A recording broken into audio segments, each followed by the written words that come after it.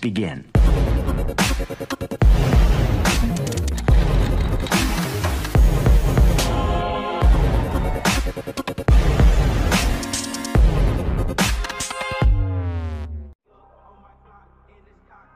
Hello everyone, welcome to XiLiR Technologies. Today I'm going to demonstrate project name Seed Sprayer Robot. So in this project we are using solar panel, these batteries which are charged by these solar panels. These are three batteries connected in series and two set of these batteries are used for creating 12 volt. Uh, one 12 volt set is for fan and one 12 volt set is for wheels. Now we have 7805 power supply module here. In this module what it does is when when 6 to 36 volt is given as an input it will always give you 5 volt power supply. And that 5 volt power supply is used by this bluetooth module arduino uno microcontroller and relay module and other stuff like l290d motor driver and servo motor also. And uh, bluetooth we are using here is HC-05 and to connect that bluetooth we need a password 1234 and automatically we will connect. Check the description i have added one dedicated video for this particular process how to connect your robot to bluetooth. Okay and uh, this is the DC fan and this is the sprayer unit and the using 3D printed model uh, it is getting printed there. And uh, we will add it and we'll show you the project further. And this one is the wheel. And these are bigger wheels also known as tractor wheels. And uh, this one is the relay module again and which is connected with a DC fan. And uh, we these are clamps connected there with the screw and nut an L290 motor driver again because microcontroller cannot drive these motor directly so we need motor driver module here.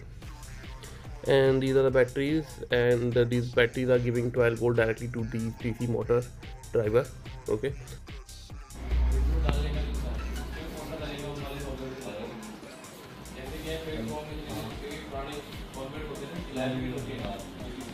So now using 3d printer we have upgraded this part okay so now you will see the output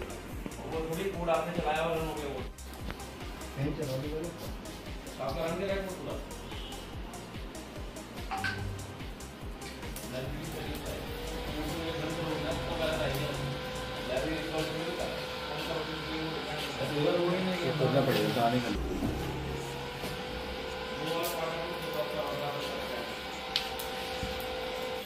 थोड़े operation दिखाइए Gracias.